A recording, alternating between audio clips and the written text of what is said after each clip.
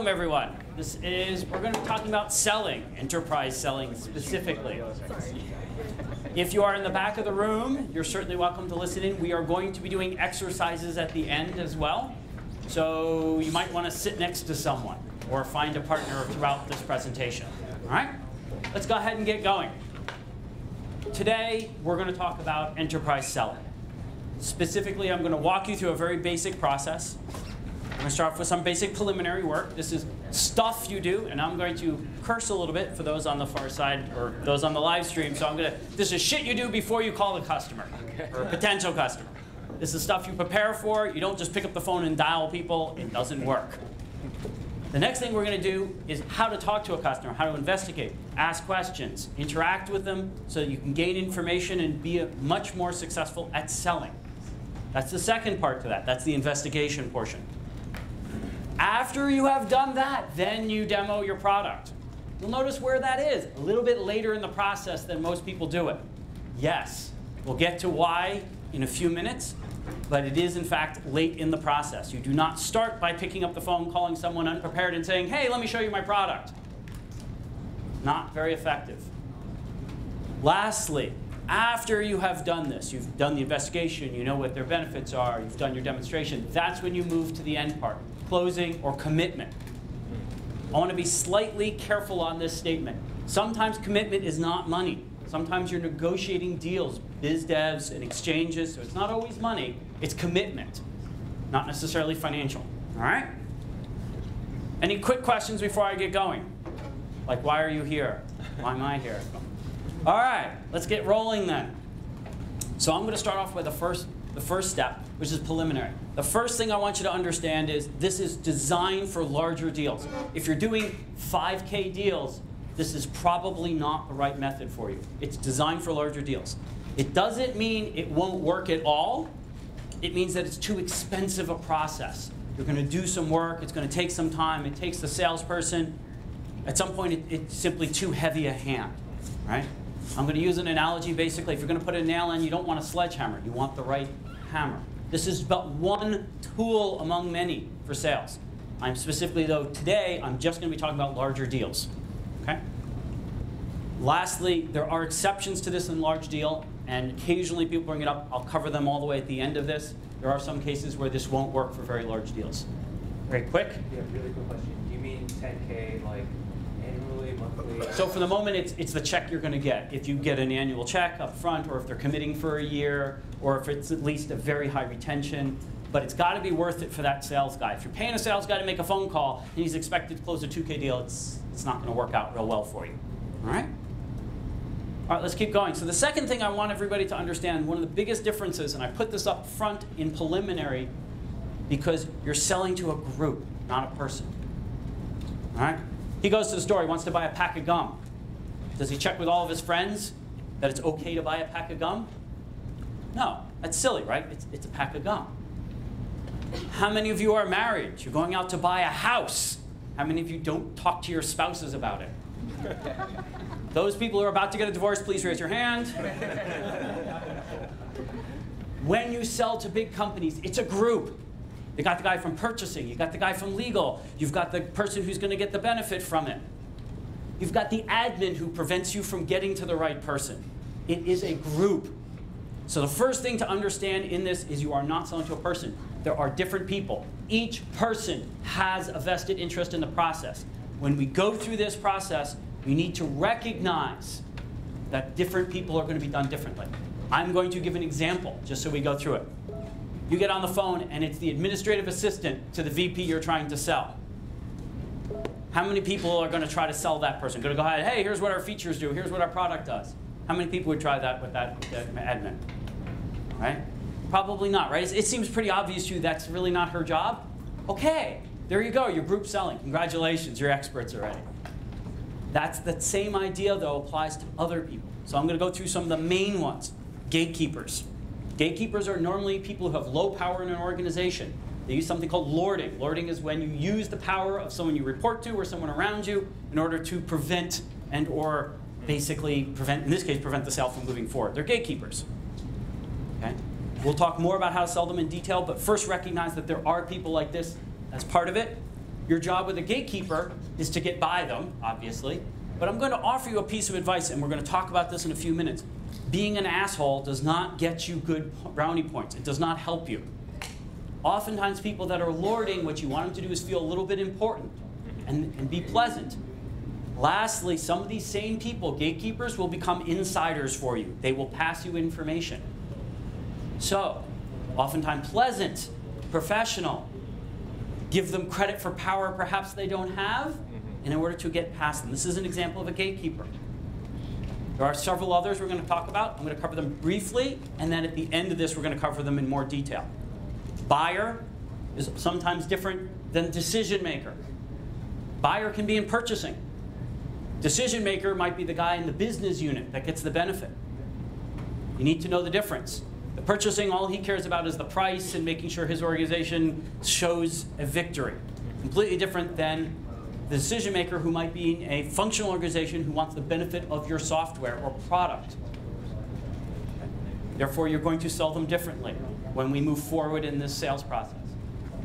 Lastly, I want to bring up a specific note on something called a champion.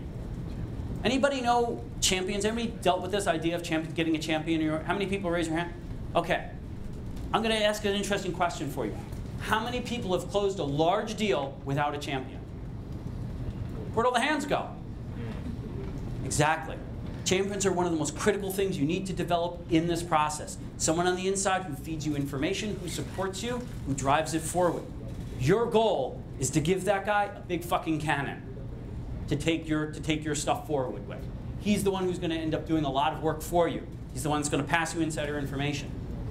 What that means is your job in many cases is to equip the champions with the necessary tools to sell.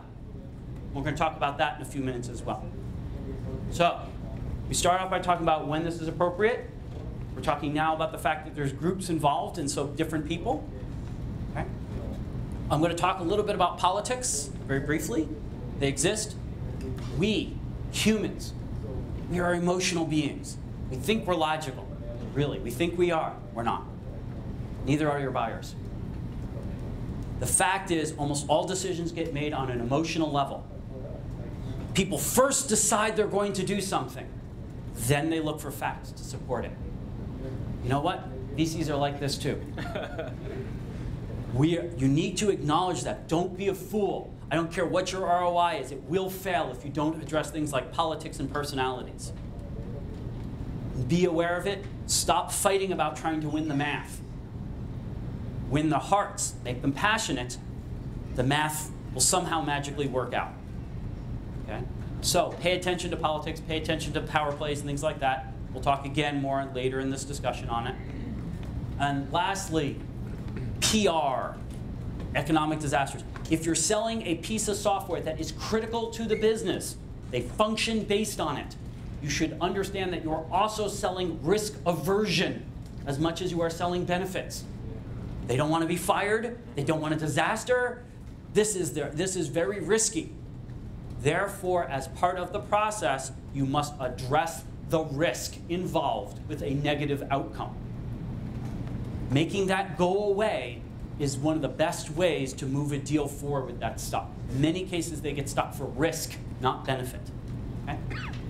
So first, acknowledge that, pay attention to it, and we'll talk more about that as we move through the process. Okay? Lastly, I'm going to talk about this idea of managing the group. I cannot tell you how many sales guys I know that send a CC to everybody in the group for every email. They do about, you need to think about managing the group right? Who's the right person to send this to? Who needs to be included? If somebody is lording, if the lawyer is lording, basically means that he's trying to control the process, you might have to extra CC him. Mm-hmm. Yes, manage the group. I'll give you an interesting hint. It's very much like managing people. If those of you who are managers and are managing people, you know you have to pay attention to people's feelings and how they think. Same thing with when you do large deals. Okay? We'll talk about certain cases where that's not true, but for now, that's, that's a general idea. All right? So now, you're set. You know when it's appropriate to use. You understand the dynamics of a group. Within that group, you are going to do a process of investigation.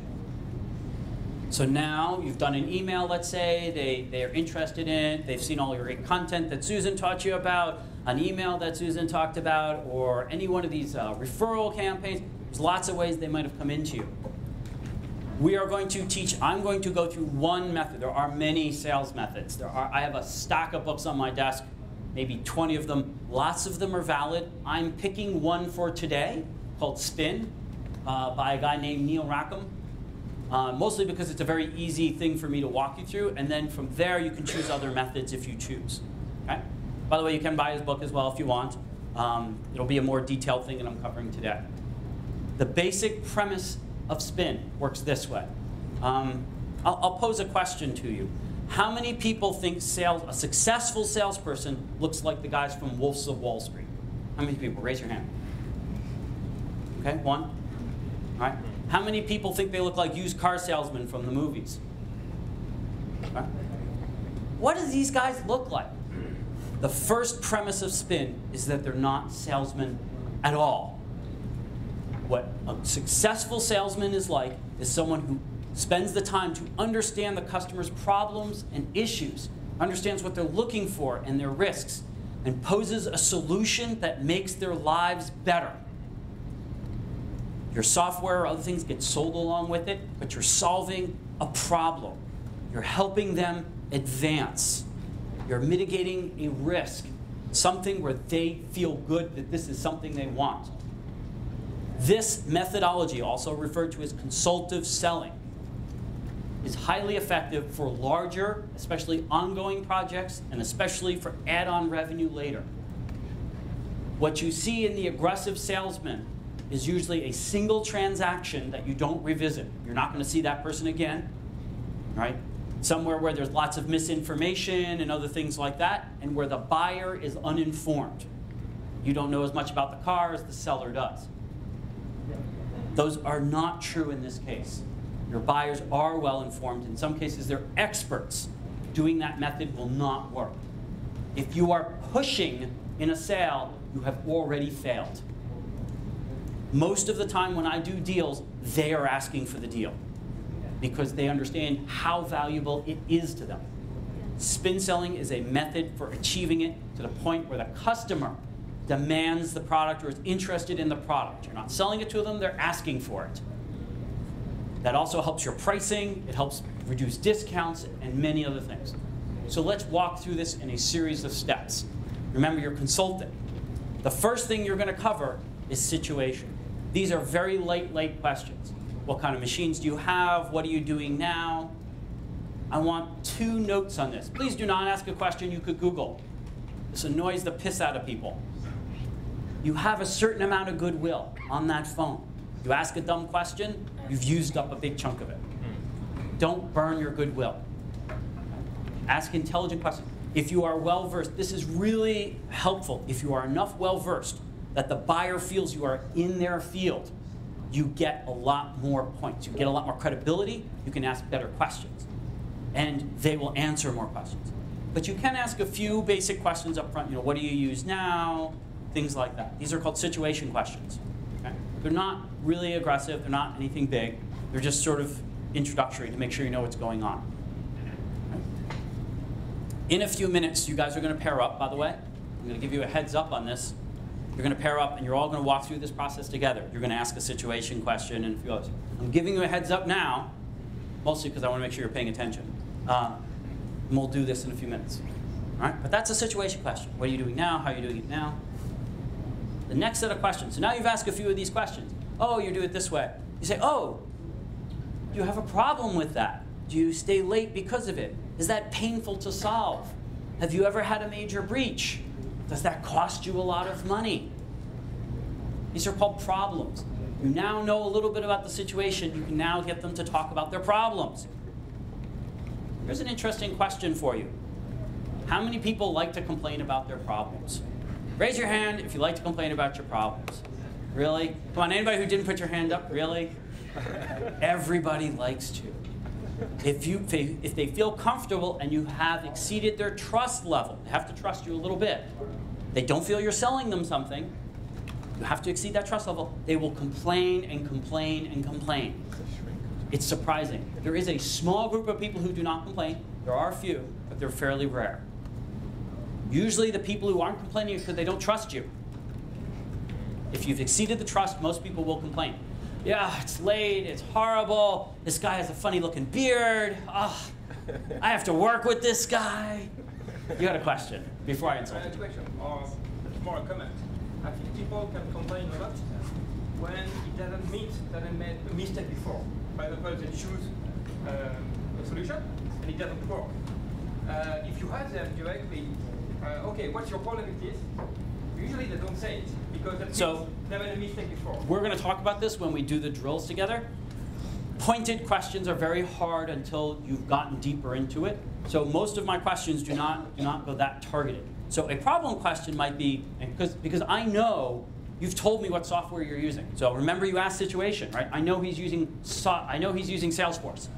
I know the problems with Salesforce. You better know the problems with your competitor's product, right? I know Salesforce. I said, wow, yeah, I know a lot of your a lot of your other companies in your position, they hate that pricing. Yeah, so do we. I better know what the problem is to draw him to. A good salesperson, he knows the weaknesses of the situation answers he got. If they say they're using X, you should darn well know what the problem should look like. What I'm not going to say to him is, wow, how much did you pay for that last month? All right? This breaches trust. You've gone too far with it. This is very much like dating. It's a little bit of a play, you know, you got to play it along slowly here. You can't just leap right in. Well, at least I can't anyway. Maybe you can. Maybe if I was better looking. I don't know. Okay. I'm going to hold most of the rest until I get through it, but we'll come back to those. So, some basic situations. You're going to ask them basic problems. You should know what some of those problems look like. These problems can go on for a little while. In longer processes, problems may be several calls. But the, the idea is to get them. Please keep note of the problems listed. Do not lose track of this. I can't tell you how many salespeople I know. They get off the call and I say, okay, what were some of the problems? They go, oh, I don't remember now. No, dude, this is how you sell. You have to know what those problems look like. So now they've told you a bunch of their problems. They've whined and complained to you. Please do not say, oh, we solved that. Oh, oh, ugh, instantly. You know what happens when you say it? Anybody want to guess why you don't say that? Drives me crazy. Come on, nobody wants to guess? You don't show them closing right away. You immediately just tried to leap to close. They know you're trying to sell them. Yeah. Their trust is lost. To get people to complain and tell you what's going on, they cannot feel like you're selling to them. Don't leap past it. All right, so now we've guided them along. They've told us a little bit their problems. What are we going to do next? You need to do the next step, and this is one of the hardest steps. You need to move them from problem to issue. So I'm going to define the difference. The problem is it's a slow system. The issue is it delays me from getting home. What's the impact of that problem? Makes me late getting home to my cat who pees all over my carpet. Right? Uh, it pisses off my boss because I make too many errors. It cost us a million dollars because we lost a client last month because of it. You want to know what this is. What is the implication? I'm going to pose this statement to you. Most people do get the problem. Better people get to implication. Here's why. A problem is like a feature. It requires the user to understand how valuable it is before they're willing to pay for it to be solved. That's a problem. An implication, it is obvious to everybody in the room. Everybody in that company knows the value of that statement. They require no expertise to do it. That means when they're in a conference call, when that group is debating it, when they're having the conversation, everybody in that room knows it's knows it's it's got value. Everybody knows its value because it's obvious. We lost a million dollar customer last month. Everybody knows that value. It runs two seconds faster. They have no idea what that means. Classic example of this, of course, is you know like gigahertz on a processor. Do you know the difference between 2.4 and a 2.6? No. But if I say you get your email faster or whatever, that you get. Problem, issue. Okay? Move them to issue. What does that mean? Okay? So now they start telling you what the issue is. Yeah, it's going to be a pain. My boss is going to yell at me. We lost a customer. So now we're going to move to the last phase. Remember, we're still in the investigation phase. The last part of the investigation phase, the N in spin, need. This oftentimes, up until now, you've made them feel like crap, right? They're complaining, things are terrible, things are slow, they might lose their job if this goes wrong. If we get hacked, this is expensive. Need to move them to the other side now. Now it's positive. What if that went away?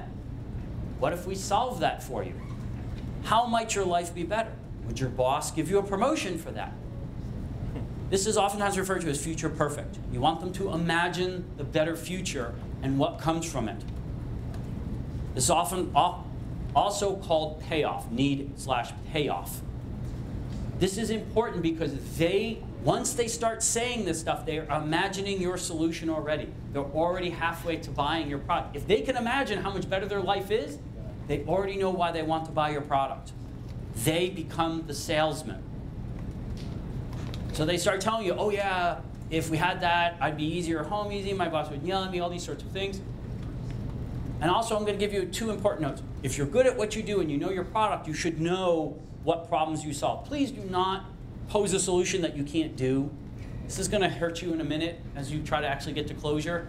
Um, your, the idea here is you know your product enough to guide them to the solution you can achieve for them. So it's clear what they're going to get. I'm going to point out something. There are two sides to this coin the person and the company. The person has to have a benefit, and the company has to have a benefit. If you fail to address either one of those, it's much tougher. Okay? So, you need to make them imagine how that solution might be better, how it benefits them, how it benefits their boss, how it benefits the company. What I'm actually doing at this point, at this point, that person has now become your internal sales guy. He knows what's going to happen, right? He's got all this information. All you got to do is give him a bunch of bullets, you know, some marketing material and a little bit of support, and he can be very helpful to you. The other thing about it is, within an organization, he's an insider. He's intrinsically more trusted than you. So if he walks into a meeting and says, we can make an extra million dollars from this, it is completely different than if you walk into the meeting and say that. All right? When he imagines the future perfect, if he imagines it that it's very positive, he's automatically going to start doing this. Especially if you give him, yeah, wouldn't it be great? What would happen to your career if you did this really successful project? Future perfect. All right. To step back for a minute. We're talking about enterprise sales. We start talking a little about how to make sure it's a group, when to use this. There's a four-step process in the in the uh, investigation phase: situation, problem, issue, need, and payoff. At the point where you now have this, you have all the information you need to move to the last phase. At this point, you actually demonstrate your product. Anybody want to know why did we wait until we had all that before we demonstrate? Anybody want to take a guess? They're more willing to solicit. Okay, more willing to listen? Your product is a potential solution they already laid out for themselves. They've already told you what you got to show. I know exactly. I don't have to show my product. I'm not showing my product. I'm showing the solution to the problem they stated. I'm showing them that how that need is going to be met. The purpose of the demonstration is not to show your product. I cannot tell you how many times I've gotten halfway through a demonstration before people even realize they're talking about the product I'm selling them. All they care about is that it solves that problem they have, that it meets their need. You address their needs. To do this, sometimes you do have to show some product stuff around it. But my point is, your language, what you say, is meeting needs, not product and feature. So if they say that the single most important thing about this is that it's green because the CEO loves the color green, you better be talking about the fact that the screens are green. Because that's what's valuable to them. Doesn't in some ways it doesn't matter if it's dumb to you as long as they're willing to buy it for that feature, okay. But mostly you have all kinds of ammunition. So a few minutes ago they complained to you that they lost a million dollar client. When you get to the screen, you show them, they say, see, hear this? You won't lose that million dollar client now. They have associated the, the payoff right to your product. So at the point where they call you back and start negotiating price, what are you going to say? Well, I'm going to save you a million dollars a quarter. We're talking about 10,000. This is all the leverage you need when you get to negotiations, which is going to be the next step, commitment. At this point, most people get to the end of the sales process, they are on the back end of some purchasing guy beating them up for price because they got nothing to offer. Purchasing guy calls you and you say, I know you're going to save a million dollars next month. Ugh. Awfully hard to negotiate. I mean, you've literally got all your ammunition. You've got your insiders who have given you all the information because they were trying to solve a problem, not being sold to. Negotiations change quite a bit at this point. It gets very difficult for them to beat you down because you literally are holding the stick over their head because you know exactly what they're getting from this. And you know how valuable it is. It doesn't mean you don't give it all. Back to the group dynamics, the purchasing guy always wants a pound of flesh, so you're going to give him a little something, make him happy, but you have a much better position to negotiate from. Make sense? So commitment is mostly about herding everybody together, providing materials, and a few other things. Believe it or not, there's closings in most of my deals are tiny. Sometimes as little as 20 or 30 minutes. They're very, very short, even for large deals, because everything's in place already. They've already decided they're going to buy it. It's just a matter of signing the documents. Be aware, every now and then budgets do pop into this end. They get all the way through, they want to buy it, but they don't have a budget. Okay? We're going to talk about this when we go a little bit offline. One of the little preliminary things you're going to evaluate under the problem and everything is whether or not they have a budget, right? Do they have a budget? Do they have a team? That's part of your initial situation pro- situation questions. People who don't have budgets, you got to figure out whether or not you're going to be able to get done with it. If you're selling a million dollar product and the company's revenues are like 20 million and they don't have a budget for you, good luck. Wouldn't that be something that you'd probably want to get out in the open during the investigation? Yeah, that's up in when I said the situation questions. Oftentimes it lands around between situation and problem question. Most people will tell you that when you start the conversation about the problem. All right? We're navigating around a credit card company, one of the world's largest, right? And all of this. I'm not going to cover specifics just yet. We're going to wait until we do partners and then we'll get back to it. At the negotiation phase, IT get around the table, and then they bring in the whole. There's other ways to do this, Yes, of course. Which means you didn't bring them in in the group to begin with. right? Okay. It, so I want to make mention of something. Um, this is easy for me to stand here. Let, us face it. Being on the phone and actually doing this stuff, it's hard. Okay? I made calls many years. I failed ignominiously. I was absolutely terrible. I learned. I got better. No matter how much it is, it is so much harder to actually execute this than to talk about it. Things go wrong. People call. You didn't realize IT. You forgot to ask the budget question. This is never going to work the way I just presented it. It doesn't happen. But if you have the basic structure, you can work within the structure best you can. Having someone come into the group at, when you're trying to close is unlikely to, is unlikely to close. It won't work. Does that make sense? Um, real quick, and then, then I'm going to go to the next part. What are your thoughts on people go over budget? On people who go over budget, meaning, I'm going to make sure I've understood the question. They say to you, I don't have budget, but let's keep talking. People go budget over. People do go over budget. Yeah, So all the time. You know that you can like going over budget is possible mm-hmm. versus going over budget is not possible. So there's the, there's, the rule of thumb goes something like this. Many things appear or can be magically created in the budget. Usually budget is used as an excuse to say, I, I'm not going to go forward with you. If you have uncovered the problems before, you know what their, what their solution is, you normally get a feel for the budget question at that point, if it's real or not. So I want to start with that. The most, most of the time when people say budget to me, what they're really saying is I did a shitty job of explaining the benefits.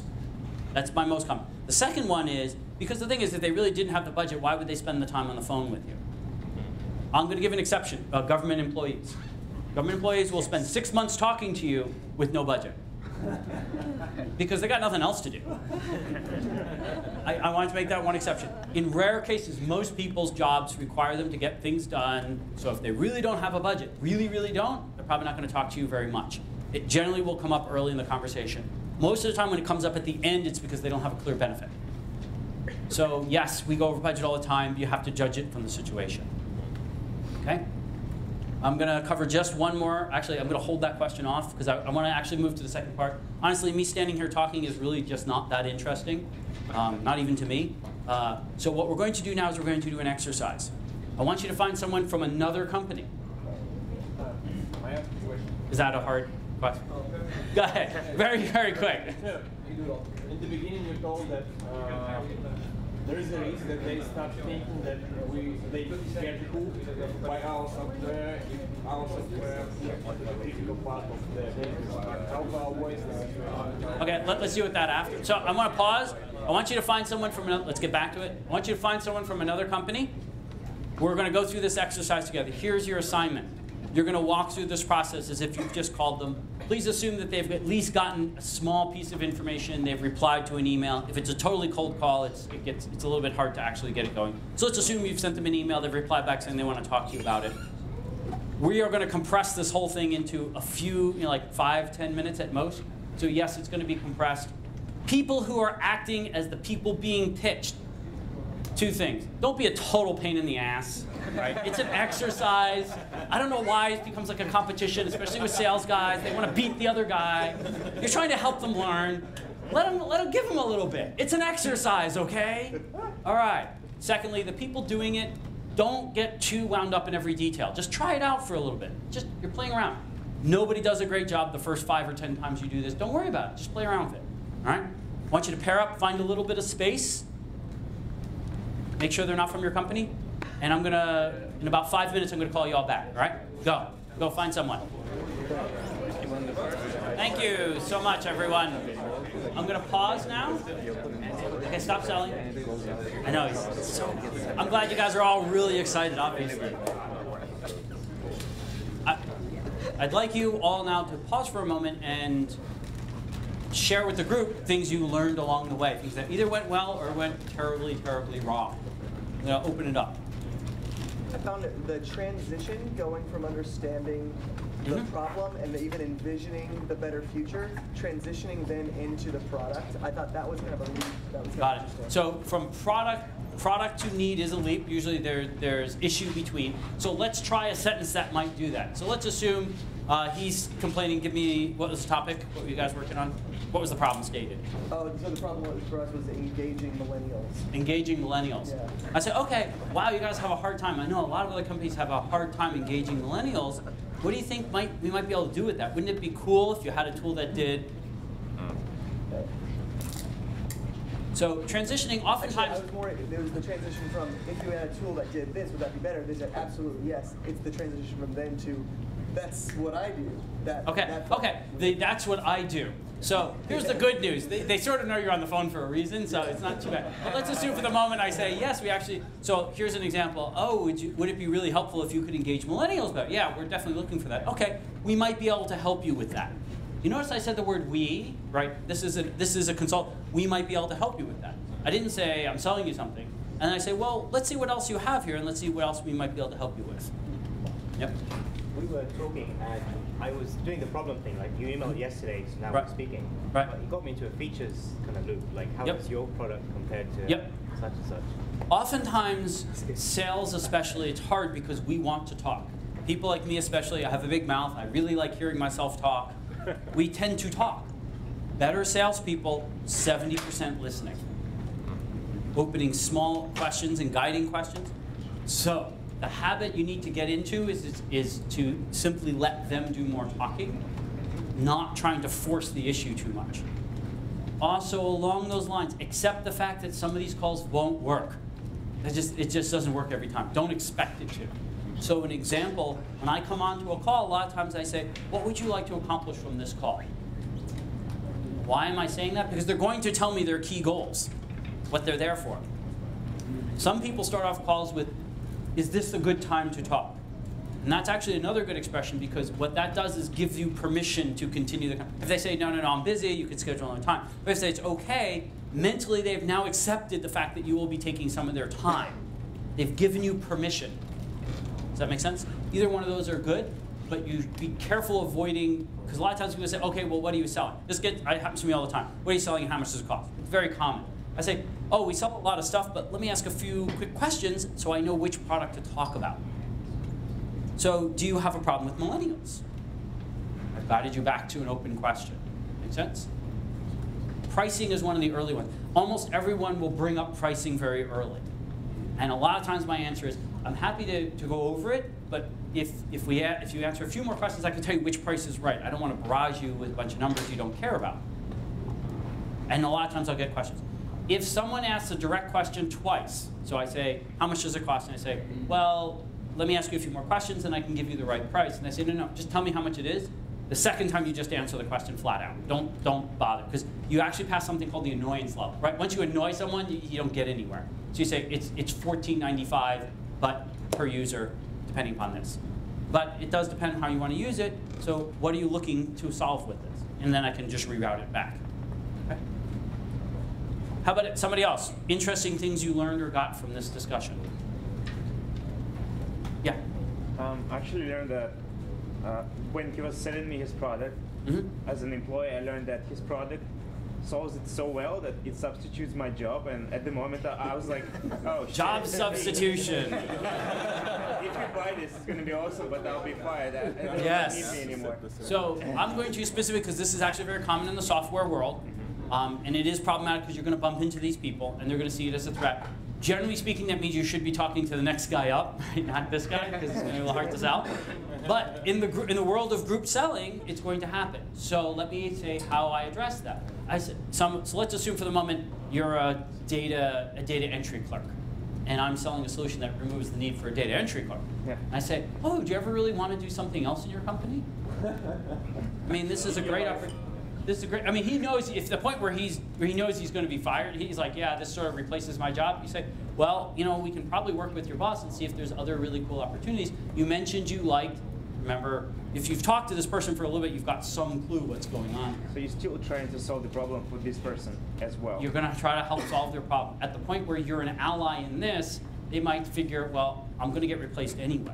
But I will tell you, if you get caught in that conversation, it is never good. Like, like getting into that, that's, that's not something you want. But if, if you get that right in your face, if literally says, well, this replaces me, that's the best way to get back out of it. But that's not a desirable location for the conversation. Make sense? We got, we got, I'll just give you a quick time check. It is 3.50. I have been taking 50 minutes of your time. We're just gonna do two more quick things, and then I need to clear the stage for, for Tam here. Two more quick observations. Yeah? An observation was actually a question, can I note it? Uh, I'd rather do observations for a moment, and then let's come back. Any other things you learned or got from the session? Yeah. Uh, I'd rather have a different person, because we had one already, but nobody else? Okay, how about that one? Uh, the investigation part was pretty key because I actually didn't really know what Alfred had worked on previously. So I was like, okay, before I start on my pitch, I gotta actually figure out what your product is to start. Yep. So just like getting that solid understanding. Yeah. It's amazing to me how many people come to me and pitch a features that are completely irrelevant to me. All the time. You don't know what's valuable until the person tells you it is. Don't assume you know. Things are different in every company, different priorities, different budget cycles. Don't assume. When you ask the questions, you find out what's really valuable. That's what you're selling against. Not what you do, but what's valuable to them. Uh, yeah, one more back here. Getting to the issue. Uh, blue shirt. Thank you. Yeah, Um, I'll get you. Let's see here.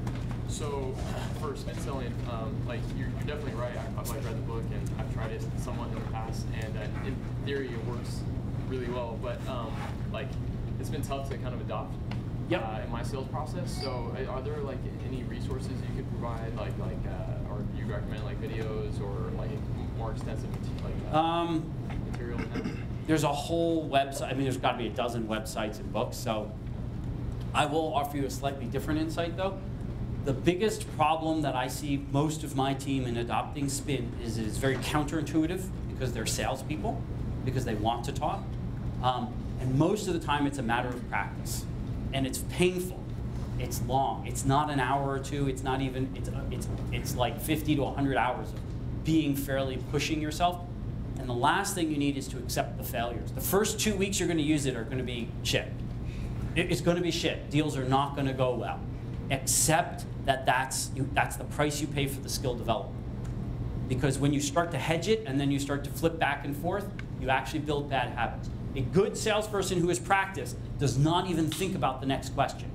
It's, they, they hear the inbound stream, they know exactly how to form the next question to guide. You cannot build that skill set unless you're practicing it again and again. When I say you've got to mess things up to learn, it's just a part of that process. So start with some low value calls, low value ones, but I think try it a bit more. And lastly, do not be absolutely rigorous. I can't, I want to do this last note. The, the world does not work where you go situation, problem, issue. It never, it always moves around. It's always chaotic. Accept a little bit of chaos. Sometimes it's not going to work exactly. Don't worry about it. The idea is not to be rigorous. It's to be. It's to stick with the idea of asking the questions and guiding them. That's the most important part. you're never, I've never done it exactly like that. Uh, one more quick one, and then, then we gotta move on. Have you ever seen this employed, like if you foster a relationship with somebody Mhm. and you haven't employed this at the beginning to bring it in towards the end, or, or even when Sure. bring in more groups? Sure, to- I've taken people out, and I get about two or three drinks in, and that works great. Um, and that's not, that's, I'm actually not being humorous, that's actually a serious statement. In long-term relationships, you'll go out over beers, people have an expectation to be more casual, and you'll figure out what the real problems and real issues are. Um, we have one more minute. All right. They like they like to joke within big companies that no one's gonna get fired for hiring, let's say, picking IBM. IBM, All yeah, right, that's So if the- I'm a that's the startup, how do I go around that so that they will accept? it? Okay, so there's, there's gain, yes, but would you like to get promoted? Right? There's gain, personal gain. There's company gain. Your competitors are coming after you. You're losing margin, right? There's about, remember all those hooks from the emails we talked about? The email list from Susan? That's the exact same list. Fear, Fear, yeah. competition, personal gain, competitive gain, political gain upon somebody else in the company, uh, return on investment, although that's, that's the math, that's not the emotion, right? A lot of times people don't buy because it really advances so much as it prevents something bad from happening. We're out of time. I hope you guys found this useful. Uh, let's go ahead and close it up and give you a five minute break before Tammy gets up to continue. All right? Thanks so much for your time.